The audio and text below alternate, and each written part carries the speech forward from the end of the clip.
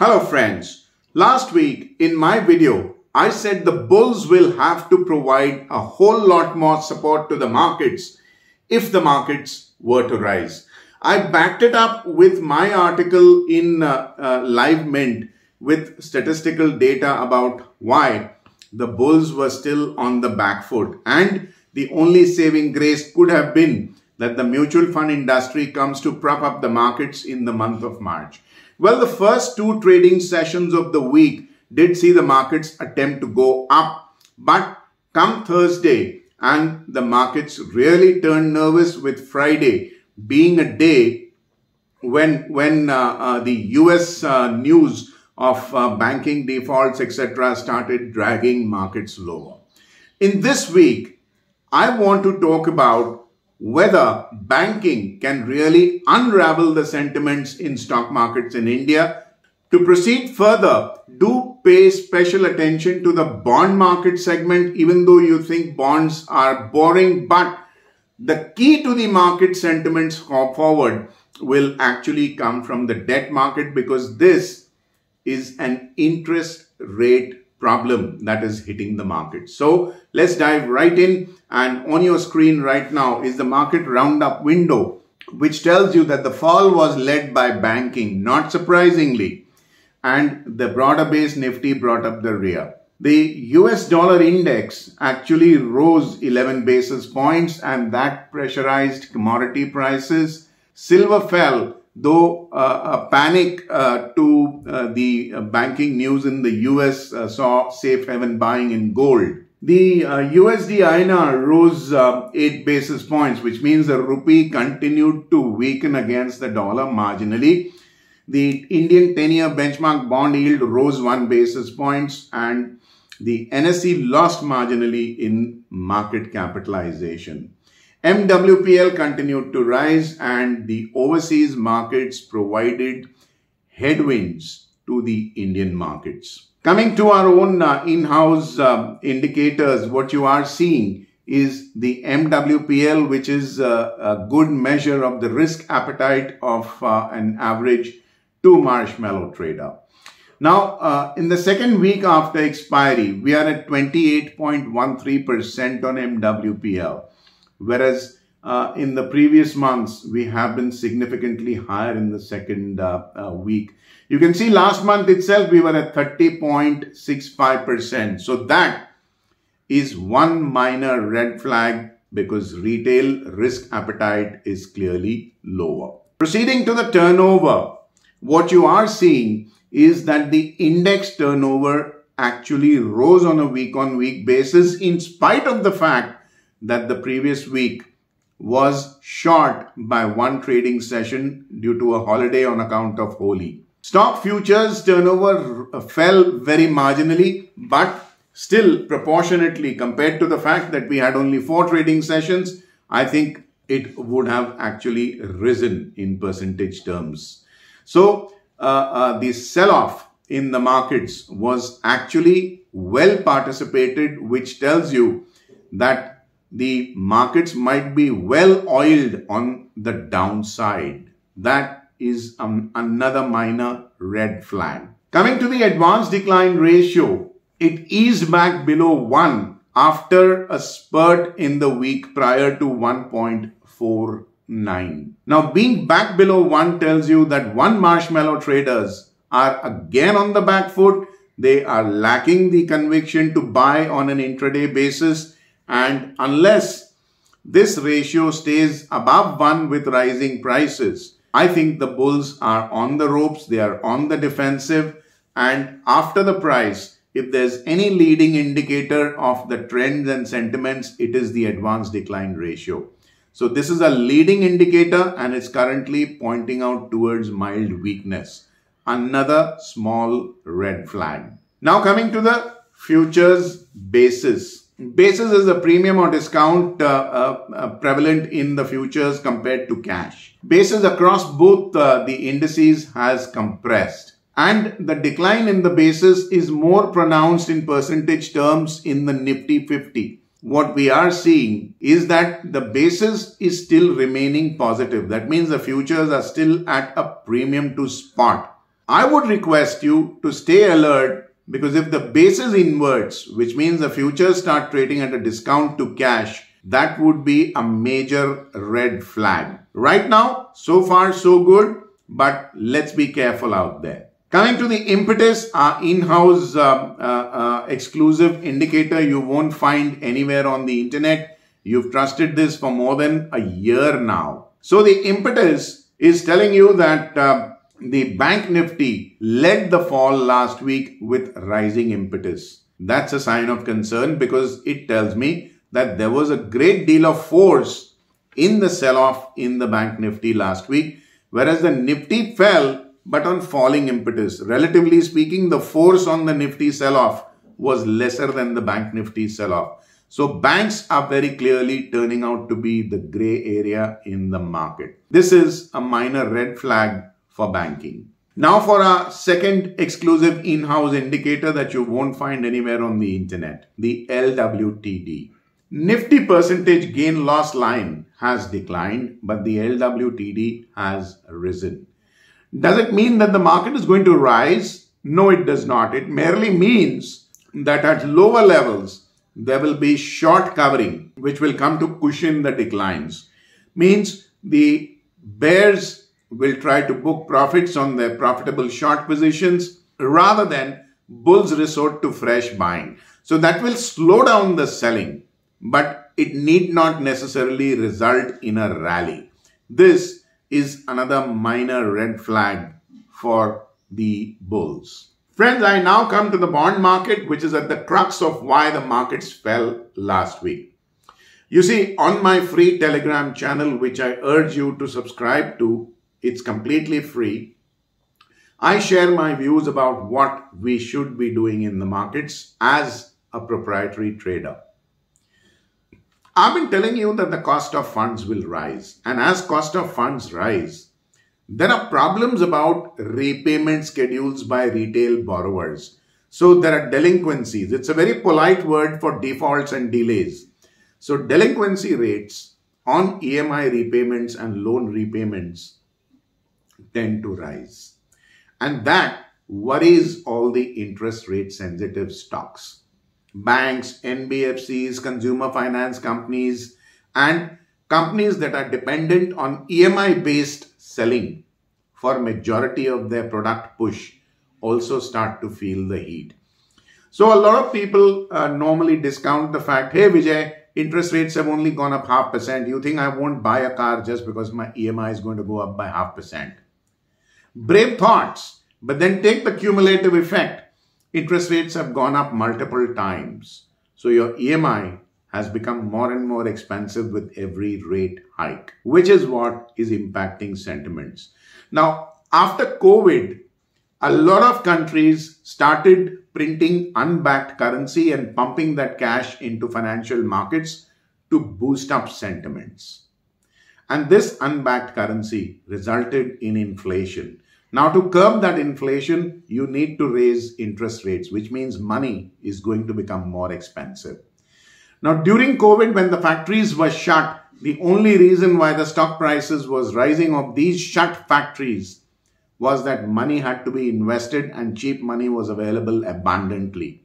So the very, very reason why the stock market rallied is being taken away now. Money is getting more expensive and the uh, central bankers are pulling back that liquidity injection that they gave us in 2020 and 2021. Let's be extremely careful. I've been telling you on Telegram, don't listen to the excessive bravado. Be very, very careful about rising cost of funds. It's a very major source of worry for equity markets. I've been trading these markets since 1986 and I, I can tell you with personal experience, don't take cost of funds lightly.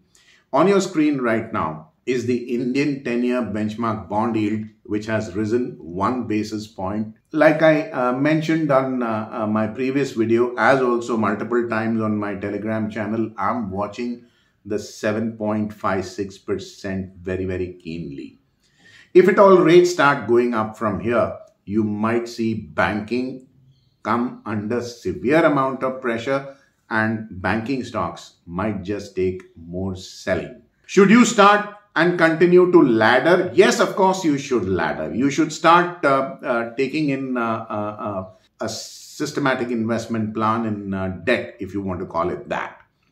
As a matter of fact, I would even suggest raising allocation to fixed income at the expense of equities, in spite of the fact that stocks have fallen, because I do expect that stocks might weaken a little more.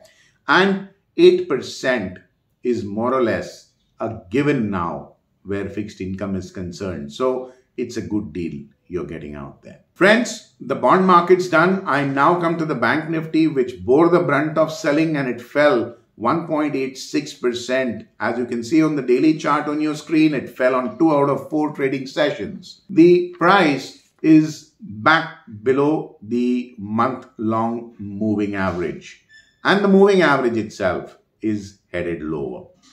The 41,840 level that I talked about since the last few weeks is proving to be a very stiff resistance for the bulls to overcome. So unless the bulls take the bank nifty above 41,840 and keep it above that persistently, I'm not buying the bank nifty at all. Coming to the weekly chart, what we are seeing is the price has broken below the 25 week moving average, which is a proxy for a six month long holding on cost of an average bull. That tells you that the medium term outlook is also getting a little soft. The red candle, the bearish red candle has pierced the body of the previous bullish green candle and that is called a bearish piercing pattern if follow-up selling emerges in the market, you could see more weakness coming in the week ahead. Friends, in the week before last, this index was number four on the most volatile uh, list that we maintain in-house.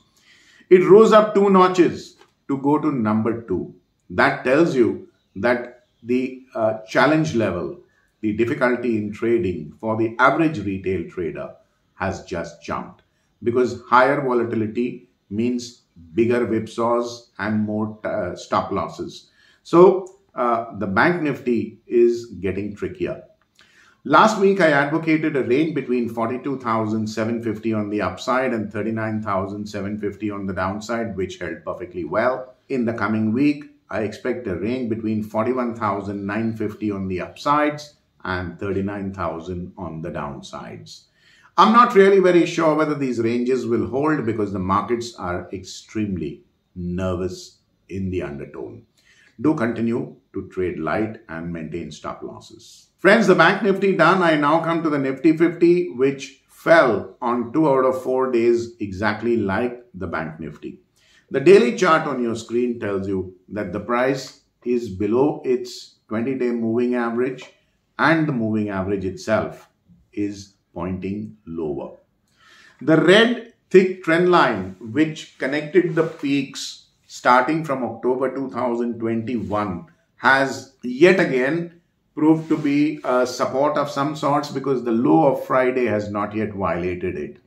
If it is violated, it would come as another bearish confirmation. Here again, I've been talking about the 18,115 levels as a threshold above which the bulls must take the Nifty and keep it above that. That's not happening. So I'm not buying the Nifty as yet. Take a look at the weekly chart on your screen. The price is very comfortably below its 25 week exponential moving average, which is a six month long holding on cost of an average bull. And this is the third consecutive week that the Nifty has closed below this average. So the medium term outlook is clearly underwater. What you are seeing is a bearish engulfing pattern on the chart where the bearish candle's body has completely overshadowed the previous bullish candle's body. The price is actually logged a bigger candle compared to the previous week. So there was more force in selling in terms of price uh, ranges as compared to the prior week's bullishness.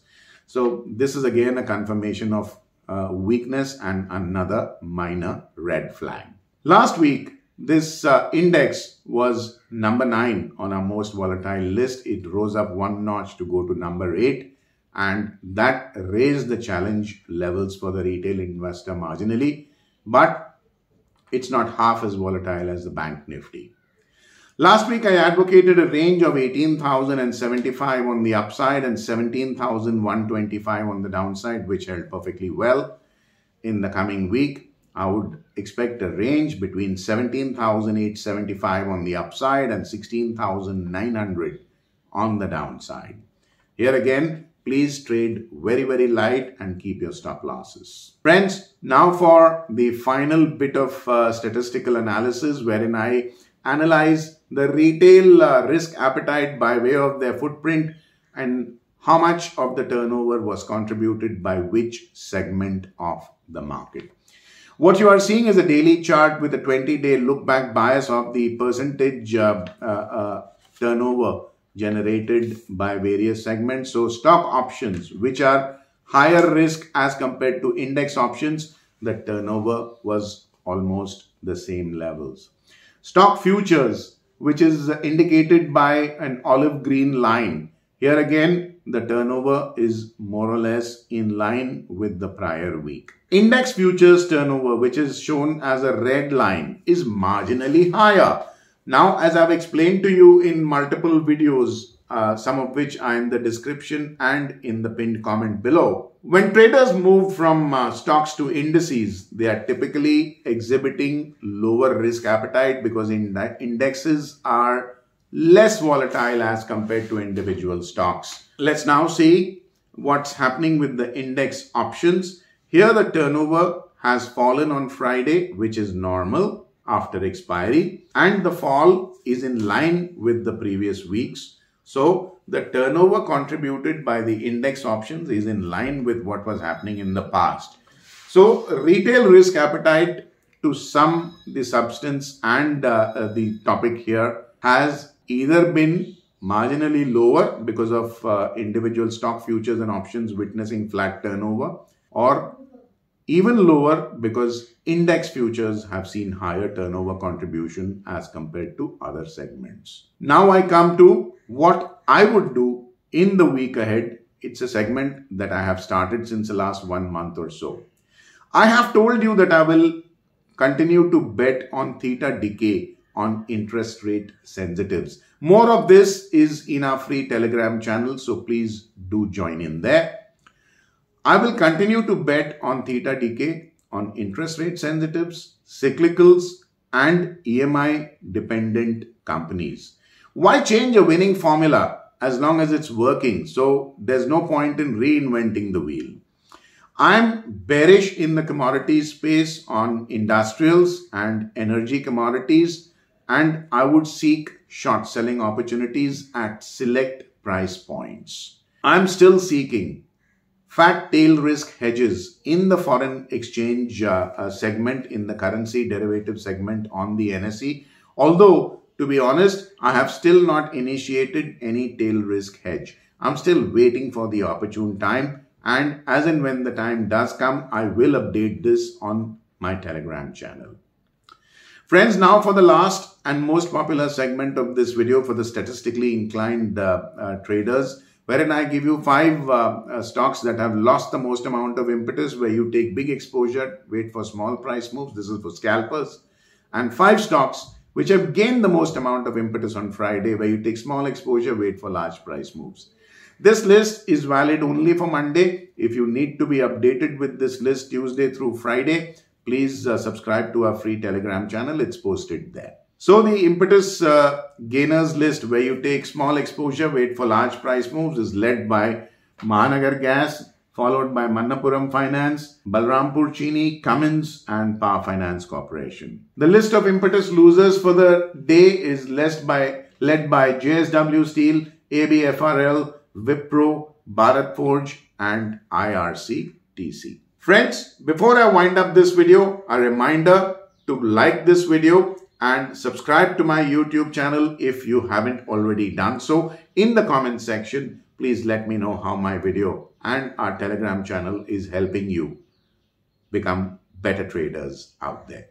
Also, please help us to reach a wider audience by sharing our video with like-minded smart traders and investors like yourselves across your social media groups. I thank you for your patience in being with me in this video. Wish you all the best. Have a very, very profitable week ahead. Take care. Bye-bye.